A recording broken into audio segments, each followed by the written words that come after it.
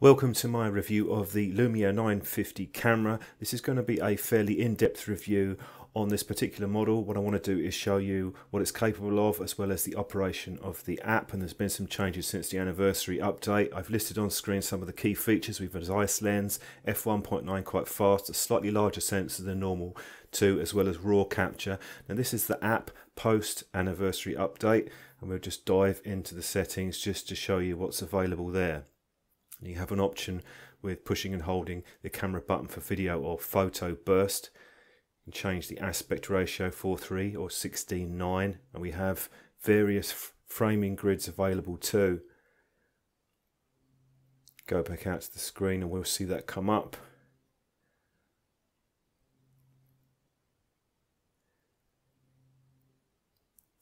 Now you'll see the image size is actually 19 megapixels Uh, which is a bit lower than the sensors capable of capturing. And also note that you go down to 8 if you're using the RAW as well. You have time-lapse setting and the living images which we'll look at later. Just to show you the video too, we have various frame rates available for that from 4K 30 frames per second down to about 24 and 720p. We also have a high-speed shooting mode for video too. Now the shutter button on top has two stages so you can use it pretty much like a camera. Otherwise half press for focus and then fully press to take the shot. And that's something you don't get on a lot of phones now and that's something which I actually miss myself. You can also touch the screen to focus.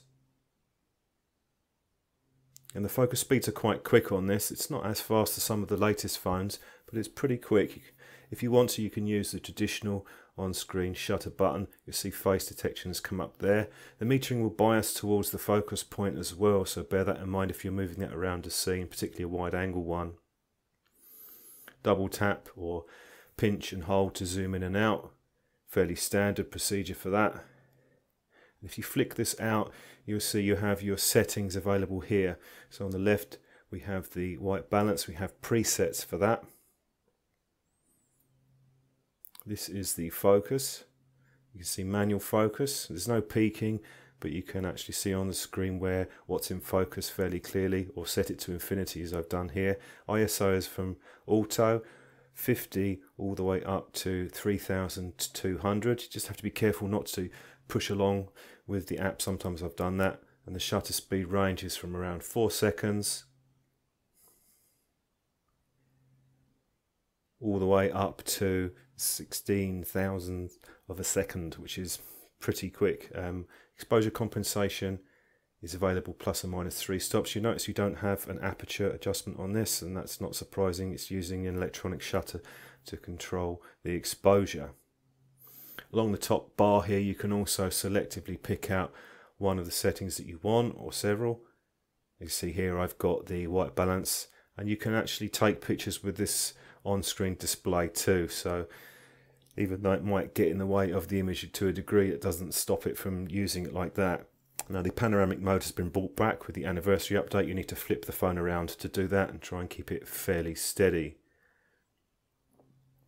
Looking at the video quickly, there's a torch button at the top which gives you a video light with three LEDs on the flash so you get quite a good feel on that and the tortoise icon gives you the slow motion capture 120 frames a second.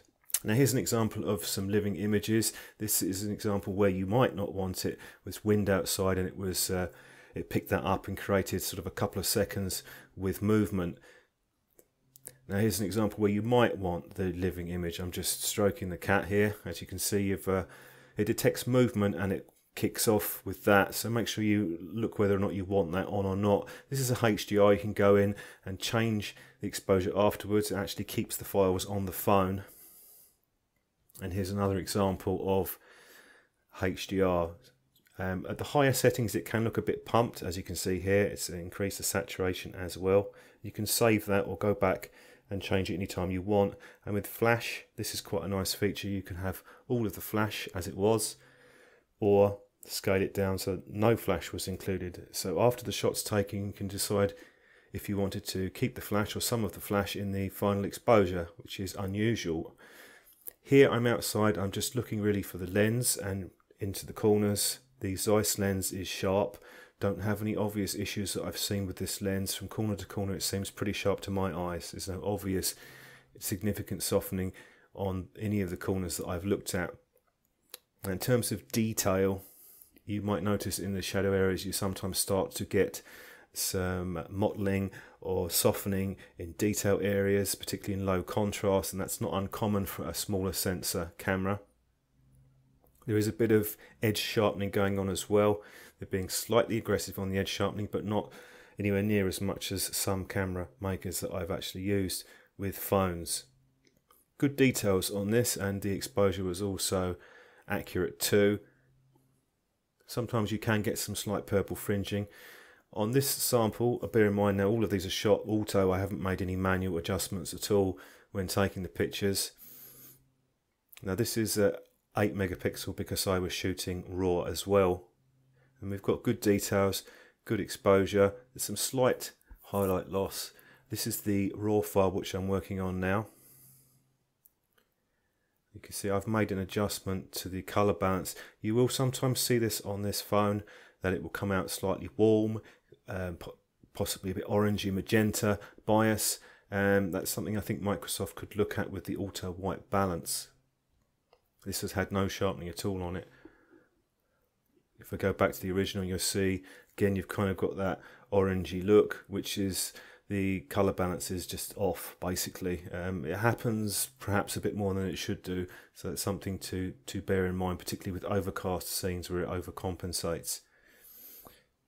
The good news is there is some reasonable highlight recovery as well with the raw files. So there's another shot here which was taken with the rich capture. This takes multiple shots at EV0, then it underexposes a shot and then overexposes a shot and blends them together so you get good details in the shadow. You see they're not blacked up or blocked up at all.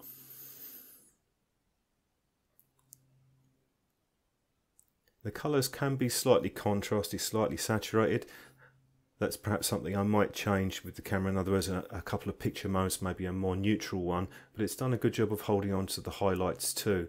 So that rich capture or HDR mode is quite good. Um, you won't always want to use it. Um, the auto seems to come in, kick in a bit more than it did before the anniversary update. Here's an example where the color balance has gone a bit cool we have a sunset scene, you would normally expect to have a more orange hue with this type of picture. So the color balance is something to keep an eye on with this camera. Unfortunately, there isn't any Kelvin adjustments, uh, which is something I think Microsoft should look at because that is a disadvantage compared to some other camera apps. In terms of the features and manual controls, though, there isn't much to argue with. This will give you an example of the depth of field effect. We see we've lost some highlights in this shot. This is one shot that I would have dropped the exposure a bit. Details are very good here in the eye where I'm focusing on, on the statue. You see the histogram there. Now bear in mind this isn't a big sensor, it's bigger than some of the camera phone sensors, but you can get some defocused effect on the background and the rendering generally is pretty good. If you're fairly close to the subject you can put the background out a bit. Just dropping the exposure down a bit. Now on this scene, just to give you an idea of the auto settings where the sun is going down again, we've lost some highlights in the top area even with the rich capture, not surprising really with the shop light but overall it did a pretty good job. Slightly warm again, but um, pretty good for the type of shot. Now, close-up photography, this camera does well. You can get to about 10 centimeters distance, and the details are good. Certainly nothing to complain about in that area. For people shots, this one came out quite well. Sometimes there is a slight orange cast that you can get with the flash with people shots. Um, not exactly sure what it is. I think it's just a general auto white balance that needs uh, adjusting a bit with the camera. Here's a shot in uh, ISO 400. You can start to see now with the noise reduction in very low light eating away at the details. It's smoothing them over in the lower contrast areas. It's still quite acceptable considering the low light conditions. And here's a shot, same again, ISO 400 but shot in RAW. Just to show you how much noise there is with all the noise reduction off, you can see there's quite a bit of blue channel noise with this, and Lightroom does quite a good job at suppressing that. So normally I would just leave the color noise reduction at default and you can go in and change the luminance noise reduction as you wish. It's certainly not super noisy considering the size of the sensor. You are helped out with the faster aperture, f1.9 gathers quite a bit more light than some of the camera phones out there. So even in low light, this particular scene here, ISO 400 is not actually that high really. What I've done is actually increase the exposure over a stop, which you wouldn't normally do with uh, a small sensor. And it seems to have coped fairly well.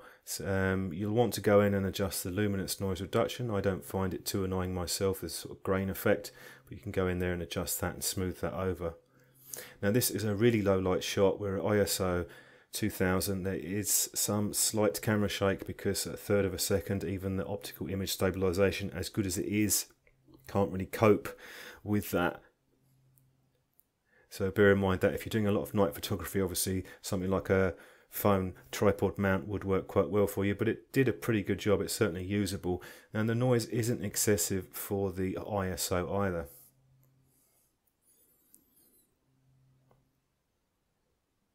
Now, regarding the raw shooting, it's something you'll have to decide yourself whether or not it's worth using. Um, many cases, the JPEGs you can adjust the color balance yourself. You can do minor adjustments to color balance um, obviously, once you start adjusting things like exposure excessively, it's going to degrade the image much more than the RAW files would. So you may be better off for certain subjects using the RAW capture. Um, you can also use other software, not just Lightroom here, but it seemed to work quite well with uh, Adobe Lightroom that I'm using. So my summary on the camera is overall, and I was just using it purely as a replacement for a normal camera and just snapping away, is that it's actually very good. It would certainly be up there within the top four or five cameras and probably do as good or if not slightly better than some of the current models on the market right now. There's just two things Microsoft need to do. One is give you Kelvin white balance adjustment and also some image adjustments for the picture styles which just aren't present. But this is a very solid camera for this particular price point, especially more so after the anniversary update and the much reduced price.